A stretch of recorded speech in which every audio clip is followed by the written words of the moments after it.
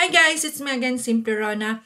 So, meron na naman tayong klaruhin for today's video guys. Ito ay patungkol sa page transparency. Kasi meron akong nakita na isang content creator na kung saan nami-mislead po niya ang kanyang mga manunood.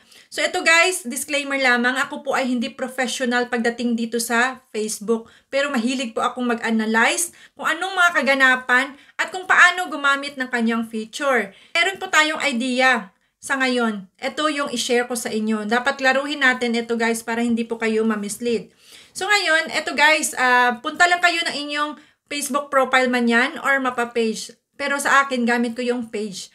Punta lang kayo ng inyong profile. Dito sa ilalim ng C dashboard, may makikita kayong post about video and more. I-click ninyo itong about. Ito ang inyong makikita dito guys. May makikita kayong page transparency. So anong ibig sabihin nito? Ito yun siya guys. Facebook is showing information to help you understand the purpose of this page. Ayan, si Facebook pinapakita dito sa atin ang mga information at pinapaintindi sa atin kung ano ang purpose ng isang page or ng isang profile. In general, kung anong purpose ng ating account dito, no? So, dito guys, makikita ninyo kung kailan ninyo kinreate itong inyong page or profile at kung sino yung admin ng inyong page, no? So, dito sa pinakababa guys, makikita ninyo itong this page is not currently running ads. So, ito yung sabi niya guys na nakakabahala na daw. Kaya tingnan ninyo ang inyong mga profile na kung may ganito. So, wala ito guys kinalaman sa ads na lumalabas sa ating mga video. Ikaw ay mapamonetize man or hindi, ito yung makikita mo sa iyong account. Either lang yan, kung ikaw po ay nagpapa-advertise ng iyong content sa kay Facebook, no? Na hanggang ngayon, ongoing yung advertisement na yon na pinapa-ad mo or yung pinapa-boost mo. Ang ads at saka boost parang same-same lang po yan sila, no? So, yan guys. Ito yung ibig sabihin na kung bakit hiwala po tayong or hindi po tayo nagraran ng ads dito sa ating mga account kasi wala man tayong pina-advertise kay Facebook sa ngayon. Kaya ito guys, wala po itong kinalaman sa advert uh, uh, advertisement na lumalabas sa ating mga video no kung tayo po ay monetize na kasi ang dami nagtanong sa kanya na kung ito po ba ay kasali uh, pag ikaw po ay monetize lang or kasali po ba yung um, mga hindi pa monetize at kung paano po daw ito ma-delete. Kasi ito guys, pag binuksan ninyo itong see all, ito ang inyong makikita, no? History, no? Kung kailan nyo ginawa yung inyong page or account, kung kailan kayo nag-change ng inyong mga pangalan dyan sa inyong mga account, no? At kung sa page naman, kung sino yung nagmamanage ng inyong page. Dito sa pinakababa, makita ninyo ang ads from this page, no? Kaya ang nakalagay dito, this page is not currently running ads. I-click ninyo itong Go to Add Library na naka-highlight na blue. Ito yung ating matatagpuan dito. Pangalan ng ating page. Dito sa pinakababa, may system status na nakadilaw. I-click ninyo yan. Ito, i-click ninyo itong See Details.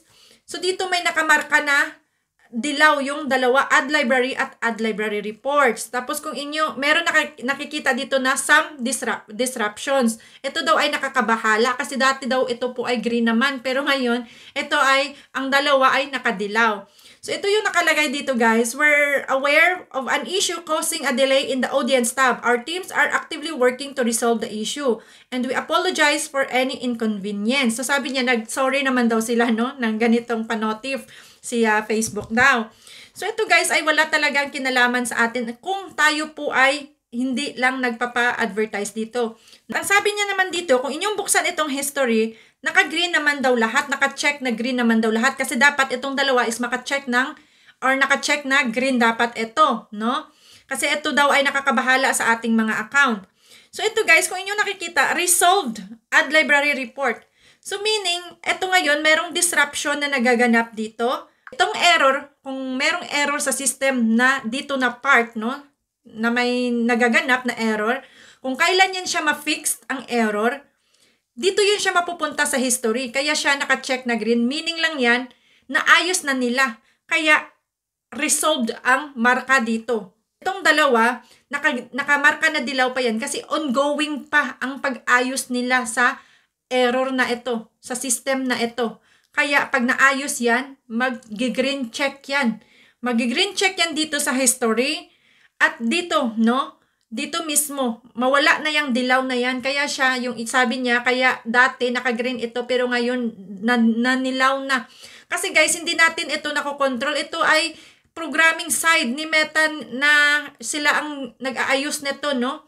Sa mga support team ni Meta na nag-aayos ng mga error dito sa kanyang system. Ano nga bang ibig sabihin? Ito, explain ko lang sa inyo kung anong ibig sabihin nitong add library at add library report para meron kayong idea kung ano talaga ibig sabihin nito, no? At library guys, ang ibig lang sabihin nito ay isang public archive na kung saan dito pinapakita yung mga active and inactive na mga ads dito sa Facebook and its affiliated platforms. So itong ad library, as a users, ito po ay nagpo-provide sa atin ng uh, transparency para dito natin malalaman at maintindihan kung paano mag-run ng isang ads ang isang page. So ano naman po yung ibig sabihin ng ad library report?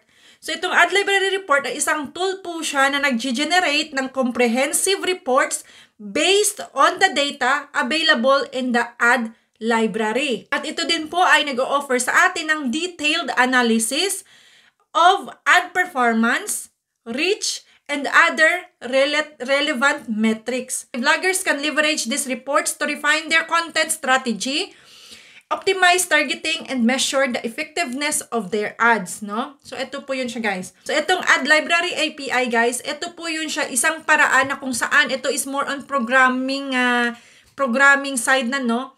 Na kung saan, ito po ay isang paraan na Kumbaga, ikaw po ay pag kumuha ng isang data kay Facebook at ito po ay ilagay mo, i-transfer mo dito sa iyong website. So, gagamit ka nitong API. So, ito siya, isang way siya kumbaga na kung saan ikaw po ay gagamit nito para makakuha ka ng data from Facebook para sa iyong website. So, ito namang branded content. Bakit nasali ang branded content dito? Kasi nga, itong branded content, pag tayo po ay nakipag-collaborate sa isang brand, no? Kaya nga guys, kung gagamit tayo ng isang branded content tools tagging dito kay Facebook, ito guys, meron siyang husto na paraan na kung saan dapat meron tayong agreement kung ikaw po ay makikipag-collaborate, dito guys, meron kayong transparency sa isa't isa as a creator or as, as, a, as a publisher. And ito yung uh, ka-collaborate, ka-collaborate mo or ito yung uh, sponsorship mo, no? Na kung saan, dito ninyo guys makikita ang insights at ang performance ng isang content na iyong pinopromote. Makikita mo rin dito at malalaman din nila, no? As a brand owner, as a company. So dito guys, meron kayong transparency sa isa't isa. At dito rin ninyo makikita na kung baga kung sila po ay nagpa-ad, nagpa-advertise o nagpa-promote no dito sa Facebook, dito kay Meta. So dito guys, dito rin makikita ang insights at ang nilalaman no ng uh, performance ng isang content na kung saan yun po ay ikaw ay nag-promote ng isang product, no?